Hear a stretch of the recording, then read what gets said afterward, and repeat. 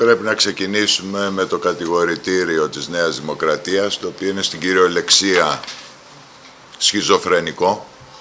Σας υπενθυμίζω ότι είπε η Νέα Δημοκρατία την πρώτη μέρα, ότι ο Διευθύνων Σύμβουλος και Πρόεδρος του ΔΕΣΦΑ, ο κύριος Νίκας, έδωσε στον εαυτό του ένα χρυσό εφάπαξ 100.000 ευρώ με απόφαση του Δουσού.